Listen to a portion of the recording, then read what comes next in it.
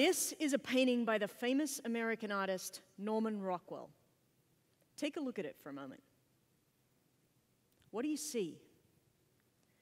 Where are you looking? The longer I looked at this painting, the more I began to see, such as the dog. But maybe the dog was the first thing that you looked at. How are you looking at the painting? Are you focusing in on one spot? Or are your eyes skipping about, trying to take everything in? Are you able to see it in clear and sharp focus? Are you looking where I'm looking? Are you looking where the person next to you is looking? What if you could see through someone else's eyes? We use our eyes to take in 90% of everything that's going on around us. All other senses combined are just 10%. So if there was a place we should be looking, we should know about it, right? I grew up playing tennis in Australia, came to the United States on a college tennis scholarship, and turned professional. I've coached for about 20 years. Back when I was 22 years of age, I was the youngest coach in NCAA Division I history. But looking back, wow, did I have a lot to learn. Take freshman men and deodorant, for example. it's not optional, even on a college budget. It's not a one and done application, and no, I do not care what your mother says, it does not smell sweet. But I digress. I got uh, my PhD in human movement and was part of a group of coaches ranked number one in the world. But the longer I studied and coached, the less and less I felt like I knew about the game of tennis, where I was supposed to be an expert. Early on in my PhD work, I read a 30 word paragraph in a textbook, and it really opened my eyes. It said, Elite level soccer players do not watch the ball. And the reason we know this is because there's a new technology out there that allows us to see where people are looking. It's called an eye tracker. But wait a moment. Everybody knows to watch the ball. It's a foundational concept. It's the first thing I was taught, it's the first thing I teach other people. Here's a ball, watch it. But if elite level soccer players don't watch the ball, then maybe elite level tennis players don't either. I began thinking back to my own play, and I thought, how was it that I was as successful as I was as a professional, but I was never the fastest, or the tallest, or the strongest? I know, you may be asking, what skills did you have? I started asking myself the same question. And people would say, You anticipate well. So I began looking at the kids that I coached. And I noticed that they would stop, frozen in place, waiting until they saw the direction that the ball was going. But in those critical couple of seconds, in a game where the ball can travel up to 160 miles an hour, they responded too late. The game is simply too fast to wait. So, this is what I study for my PhD. I know some people study the human genome, biochemistry, physics. I studied a fluffy yellow ball going back and forth. But I learned something very important, and that is experience teaches us where to look. Experienced tennis players watch the arm as it comes forward on the serve. This tells them the direction the ball's going to go. Inexperienced tennis players wait and watch for the ball. The same is true in soccer, lacrosse, football, baseball, hockey, the list goes on.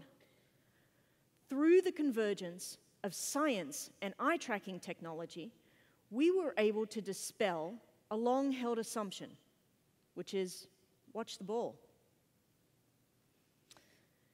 Now, can this be used for other applications? Have you ever seen a teenager drive? They look at the hood of the car and the lines on the road. Experienced drivers look 20 feet out in front. They have a routine between the mirrors and they know everything that's going on around them. This helps them to anticipate what's coming on down the road. If you text and drive, you look at the same places as inexperienced drivers. If you drink and drive, you look at the same places as inexperienced drivers. The bottom line is the same an inability to react to a dynamic and fast changing environment. You can look at the myriad of statistics that will tell us an increase in accidents and fatalities. Where you look matters. When you have a conversation with somebody, where are we taught to look? Look them in your eyes, right? At least in Western culture, that's what we're taught because if you don't do that, you may be seen as rude or deceptive. But let's take that concept into a recent hot button issue, which is police shootings.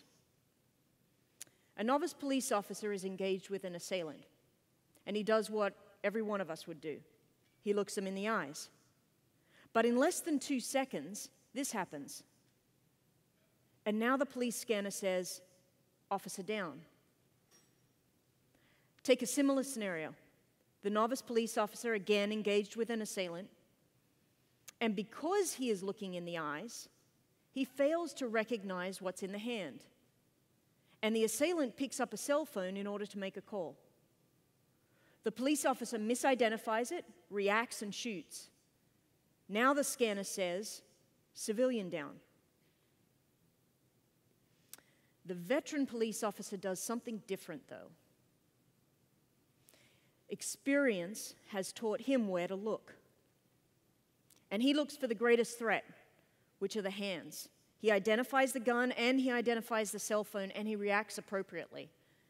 Now, the death of the novice police officer and of the civilian are clearly tragic, but they are both potentially preventable by knowing where to look.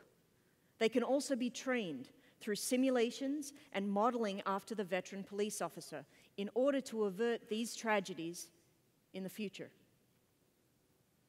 So far, I've talked about where you're looking. This can help us anticipate better, make, uh, make better decisions, improve safety, and even save lives. But our eyes also tell us how we look at something. My grandfather was a World War II veteran. And he came back to Australia and he had what was diagnosed at that time as shell shock. In today's world, we call it a concussion or a traumatic brain injury. And one of the ways that we assess for this in today's world is the doctor will ask you to follow their finger with your eyes.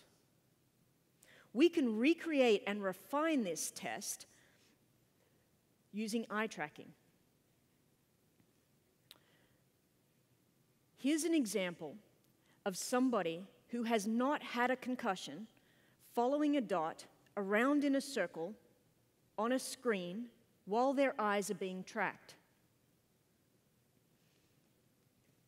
Now let's compare that to somebody who has had a concussion. The technology allows us to see the differences. The data allows us to quantify those differences. And what we know is that if somebody follows that dot around in a circle in a smooth fashion with their eyes, 80% of the time or more, that's considered relatively normal. However, if their eyes skip about, then that may be one possible indicator of a concussion. Using the convergence of science and eye tracking technology, we are now able to quantify this be highly specific, and track it over time. This same methodology is now being used to assess the symptoms of over 30 other neurological disorders, such as ADHD, Parkinson's, and Alzheimer's. Early scans of these, these disorders can change the course of the disease and impact the quality of that person's life. So far, I've spoken about where you look, and that was just an example of how you look at something. But our eyes also reveal if we can see clearly. Think back to when you were a child in school, learning to read. In order to see the words on the book, your eyes need to converge. There are times when this fails to happen, though. And that's called convergence insufficiency. And one of the reasons that may happen is because of the distance between your eyes. The further set your eyes are apart, the more effort it takes to converge at a near point, like a word in a book. So if your eyes are set further apart, you may actually be at a disadvantage for reading. Now, what do we do when we get tired? We take a break. When our eyes get tired, we may seemingly look around the classroom. But from the teacher's perspective, we've now seen as being inattentive. If you were like me as a child, maybe you'd start shooting spitballs at Sally in front of you. Now you're seen as being disruptive. But either way, the next step is usually an assessment by the specialist in a special education team. And the first thing they're going to look for is, and assess for, is your hearing. Why? Because they want to eliminate any physical or biological reason that may be causing the behavior. What about vision? No, not commonly asked or assessed. And if vision is assessed, a basic visual screening does not include convergence insufficiency. So we are missing the potential to assist these kids in reading. We are also potentially misdiagnosing them, providing them with medications like Ritalin for ADHD when they should be getting reading glasses for convergence insufficiency. The bottom line is the same. The child is not getting the care that they need, and they may never get that care. So, what's the solution? How do we help these children? How do we help the athlete reach their potential? How do we help the teenager park in the garage and not the garden bed? It's all about thinking next. How do we take any and everything that we can assess through the eyes and impact the life of others, whether they be young or old, advantaged or disadvantaged? My vision for Seeing Next is taking science eye tracking technology, and cloud based solutions to provide instant results. My vision is a scalable, portable solution that allows access for all. My vision is a modern physical exam that does early scans for over 30 neurological disorders in less than two minutes. My vision is to test for convergence insufficiency and over 15 other vision related disorders as a standard in all American schools. My vision is to assess the entire US prison population where illiteracy is 85%, where medications for attention and behavioral issues may be overprescribed, where they may have never had a vision test. But we don't want to stop there. My vision is to provide this solution throughout communities and to children throughout the world in order to impact their lives when they may ne- never have had access to such a solution. My vision is not only to assess, but also to train, providing interactive and fun games with virtual reality and virtual intelligence, games that change as you change and get better. My vision is an all in one device that assesses any and everything through your eyes in order to impact the quality of everyone's life and provide a life that has yet to be discovered.